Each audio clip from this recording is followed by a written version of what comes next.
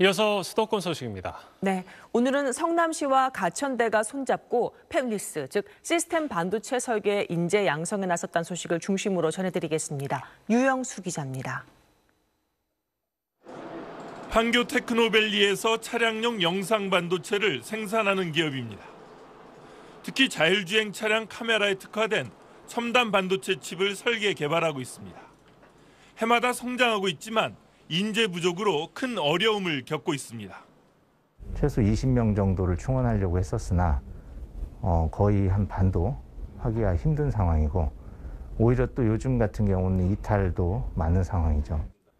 성남시에는 팹리스, 즉 시스템 반도체 설계 전문 기업들이 밀집해 있습니다.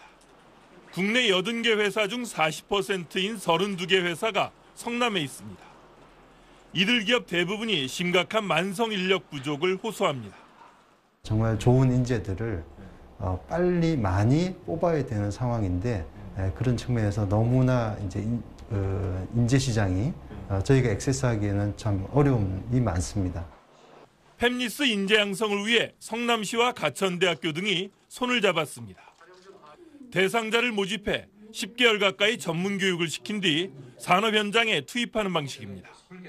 창업을 많이 하고 미래 산업 먹거리에 많은 기여를 하겠다. 그것이 가장 중요한 게 인재 양성이다. 경쟁력을 가질 수 있도록 저희가 인재 양성이나 혹은 기금 지원 등 온갖 지원을 다 할 거고요. 그것이 또한 아시아 실리콘밸리 성남을 이루는 핵심이 될 것이라고 믿습니다. 성남시는 인원과 프로그램 범위를 점차 확대할 계획입니다. 이천에서 올해 전국 첫 모내기 행사가 열렸습니다. 이천의 모내기는 다른 지역에 비해 3개월 이상 이른 것으로 6월에 수확할 예정입니다. 지금까지 성남이었습니다.